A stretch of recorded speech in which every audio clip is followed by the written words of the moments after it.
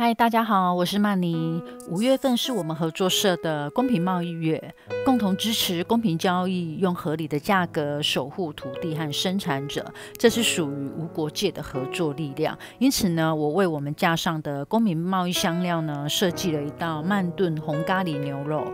所有的食材跟详细步骤都会在说明里面，所以大家都可以看。这边首先带大家看到的，我们架上的咖喱粉有原味跟辣味两。两种之前的还有甜味，我记得这是黑胡椒粒补充包。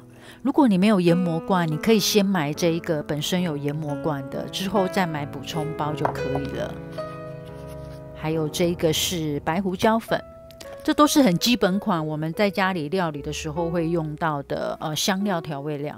这边带大家看一下我在咖喱粉的保存，因为它粉末很细，容易吸湿，所以我都会用呃小玻璃瓶把它装在里面。然后我会把那个标签啊剪下来贴在你的玻璃罐上面，因为这样你就可以很清楚的知道这一罐是什么，然后它的保存期限。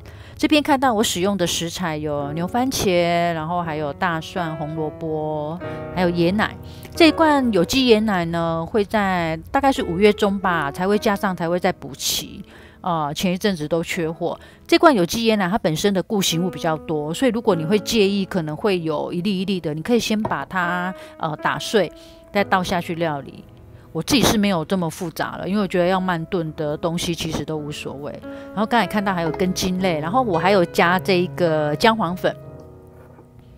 呃，这个季节啊，呃，吃一点姜黄啊，对身体还蛮不错的。我个人还蛮喜欢，所以我就会把它放在料理里面。还有这个秘密武器——花生粉，我们在做很多辣物的时候啊，都会加花生粉进去。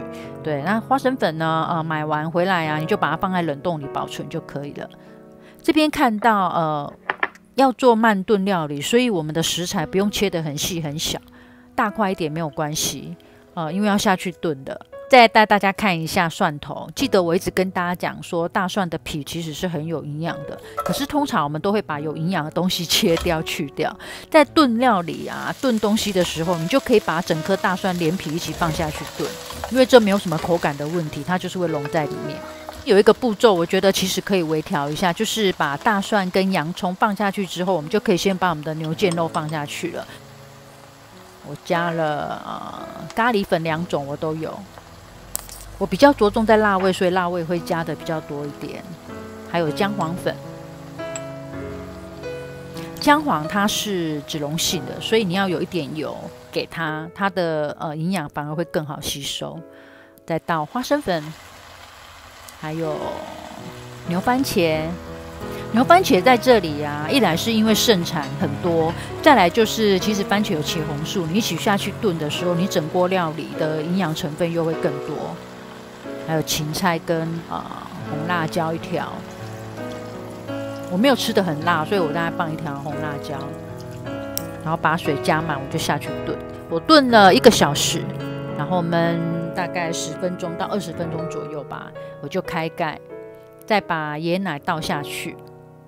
我本来是想要倒半罐就好，可是因为觉得每次剩下那一半冰在冰箱，可能每次都会放到坏掉，所以我干脆一次就一整罐下。这边还有另外带到一个新的，就是这个是我自己本身的西班牙烟熏红椒粉。呃，因为你在做这样的料理的时候，有红椒粉，它的味道的确会不一样。不过这是我自己的，呃，先跟大家讲一下，合作社目前没有，让它大概再煮个十分钟。咖喱类的料理啊，如果你把它冰在冰箱，隔个一天两天再吃，它的味道都会更浓郁。好喽，这道料理大家试试看。我是曼妮，我们下次见，拜拜。